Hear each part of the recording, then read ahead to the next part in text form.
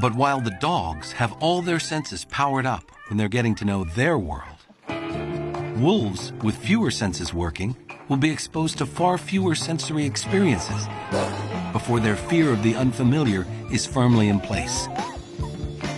Kathryn believes this is one of the main reasons wild wolves avoid humans. Even a well socialized wolf is very different from a well socialized dog. The wolves are more fearful of novelty in general than a dog is. Dog puppies can be exposed to all sorts of sights, smells, and sounds during their exploration window.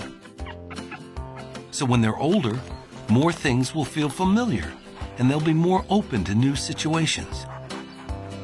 This may help explain why dogs can so easily form close friendships with other animals, whether human or not.